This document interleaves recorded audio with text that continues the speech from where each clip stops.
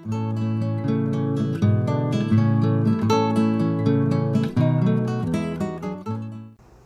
is Peach, Thrifty Hacks here. I'm so glad you joined me today. Today, I have been wanting to do this for quite a while, but before I get started on that, I do want to tell you I'm at my daughter's. I'm in their screened-in porch. There is a highway somewhere close by, and hopefully it doesn't get too loud, so we're going to give it a try. Um, I have some notes here that I've written that um, I was thinking about doing um, a, a, glimpse in my life. I haven't said an awful lot about myself. I've, I've been doing videos for what, maybe two and a half, three months, not very long. Um, my husband passed away in August, and of course I miss him every day, but I'm so glad he's with Jesus now, so that gives me a lot of comfort. Um, so what I was thinking about is starting to tell you a little bit about where I came from and my life. Um, my, um, like I said, my notes here. Um, it began in, in Oklahoma. I was not born there, but my parents were born there. They knew each other there and got to know each other and I guess became engaged. Before, before I start on that part, I do want to tell you that my dad came from 18 children. His um, mom and dad, only one mama, only one daddy, they had 18 children. That's a lot of kids. And he was number four on their list. And um, um, when I've been told that when my grandma and grandpa were going together, that he told my grandma that he wanted to have a baseball team. Well, I think 18 is on a baseball team, if I'm not mistaken. You uh, sports fans will know that well, way better than me. They had all boys till number nine was a girl. They had, that was their first girl. Can you imagine? Keep having those babies and, well, we finally got a girl at number nine. Um, they, so they had 12 boys and six girls.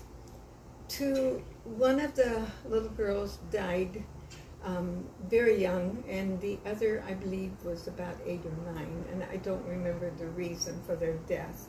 This was back in Oklahoma in the um, harder times than we're having now.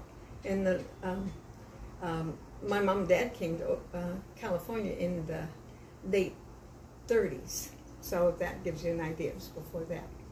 Um, my grandpa was, um, and I don't know that he did all these at the same time. Of course, a farmer to keep the family fed and all. He was also a circuit riding preacher. He was a storekeeper. And um, let's see, I said something else. Um, oh, I did say farmer. Okay. So fast forward to the late 30s, and then my mom, remember my dad and mom already knew each other. My mom's family moved to California, somewhere north of, um, of Sacramento, and they settled there in a little town. And first they lived in a tent, and then after that they built a little home. And my dad worked on, I think, the Shasta Dam up there in near Redding, and um, he his his um, he became a carpenter. Uh, not a finished carpenter, but um, I don't don't know the exact word for that, but a carpenter. And so he worked on several places um, there.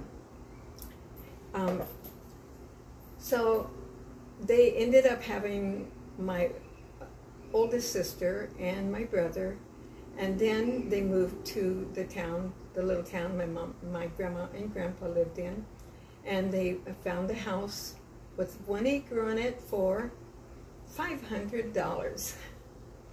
Well, they bought that house and they, um, it was very little. In fact, uh, it had an outhouse, but I understand it had a little bathroom also. The bathroom was so little that you could go in there. I remember this because I was little. They did eventually change it to a bigger um, bathroom and took some room from some of the bedrooms. Just it was three bedrooms, one back, back. Um, no hallways or anything in this little house. Um, you could sit on the stool, put your feet on the little entrance to the shower, and to your left, just barely, you could uh, wash your hands. That was our little bathroom shower. And it was, we had some good times there. Um, Mama never worked outside the home. She, and she didn't drive. I understand somewhere in her life she did drive a little bit. My whole growing up years, she did not drive. And she was a homemaker. She made her food. She trained us. I mean, she was, she cooked for us. And I mean, of course, had us. We, we had our chores. We did the dishes, washed um, washed and dried, cleaned the kitchen up. Um, we had our ironing, we washed. At one time earlier, we had the, the wringer washer. That was uh, interesting. And uh, we had a little uh, washroom right outside our kitchen that we had the double sinks and we could just do any washing there. And of course, we didn't have any dryers. We hung it all on the line. So that was some, some of the things I I still hang on to these days. Um, let's see if I'm not forgetting anything. I kind of, uh, let me double back just a tad and say one of my trips that my dad, and one of the trips my dad came out to California, he hopped a train to get out here. And then when they got ready to buy that house, he had uh, had a um, horse or a cow or something he'd been raising in in Oklahoma, and he had one of his uh, brothers or family sell that where he could buy this home. And I don't know how much he got, but that, that helped buy the property that he had. So, okay, so now let's see. I told about that, okay, and oh, I was going to say, then my brother and sister were born, and then then my next sister that's 14 months older than me, and then myself. And um, I was born there in the same place, and um, I always said my mom didn't have, um, they didn't, none of them had time to spoil me because they were so busy with all of the children at that time.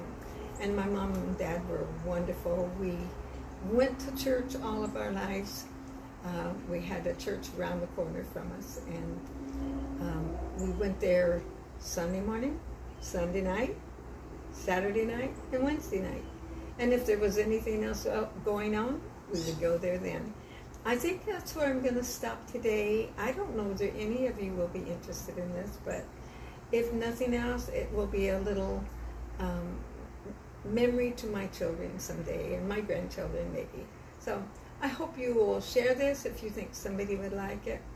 And if you're not interested in this subject, there's quite a few more. We have music here, we have uh, cooking here, we have um, just several things, cleaning tips, um, um, all kinds of things. So just check me out. Go go back if, if this if you just happened by here today. Just go back and check this out and check some of my my videos. And if you would like and subscribe, I sure appreciate it. And God bless you. I am a Christian. I love Jesus with all my heart, and that's my goal to be a light to the world and make people um, happy, make them feel good, and know that uh, someday we're going to be with Jesus in heaven. God bless you today. And come back.